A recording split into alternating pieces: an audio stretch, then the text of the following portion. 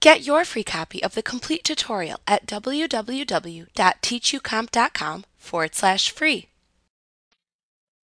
When you receive funds from customers through the Receive Payments window and place the funds into the Undeposited Funds Asset account, QuickBooks tracks that money until it is actually deposited at the bank. Later on, when you're ready to take your payments to the bank, you can record the deposit in QuickBooks and group the various payments that you have received and placed into the undeposited funds account into a single lump amount that can be shown as being deposited into your selected bank account.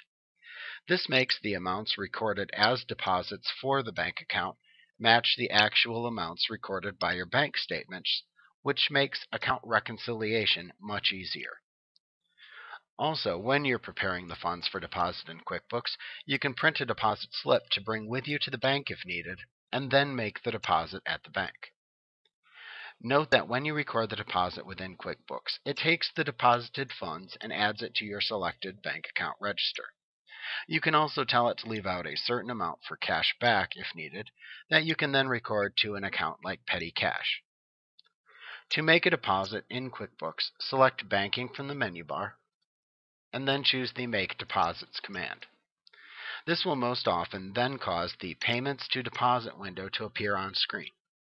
In the Payments to Deposit window, you can see all of the customer payments that you have received through the Receive Payments window and elected to move to the Undeposited Funds account. You can use the View Payment Method Type drop-down at the top of this window to select the type of payments to view if needed. You must then check any received amounts that you will actually be taking to the bank to deposit.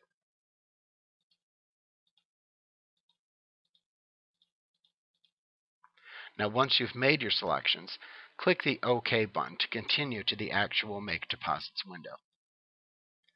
In this window, you will see the amounts that you just selected shown in a listing. You can use the Deposit To drop-down that appears at the top of the window to select the name of the bank account into which you would like to deposit the selected funds. Enter the date of the actual deposit into the Date field, and if necessary, you can click into the next available blank row within the deposit listing to record any other miscellaneous amounts that are to be deposited, such as owner's contributions, for example. Now, if you need to get cash back from the deposit, then use the Cash Goes Back to drop-down at the bottom of the window to select the account used to record cash back, such as petty cash. Then enter the reason why cash was held back into the Cash Back Memo field. You can then enter the amount of cash to be held back from the deposit by recording that into the Cash Back Amount field. If you want to print a deposit slip or a deposit summary to take with you to the bank, click the drop-down arrow to the right of the Print button within the toolbar at the top of the window. Then select either Deposit Slip or Deposit Summary from the drop-down menu that appears. You can then print the selected form within the Print dialog box that appears to take with you to the bank.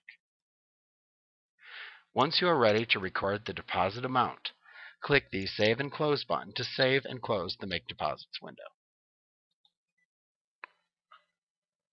Like what you see? Pick up your free copy of the complete tutorial at www.teachucomp.com forward slash free.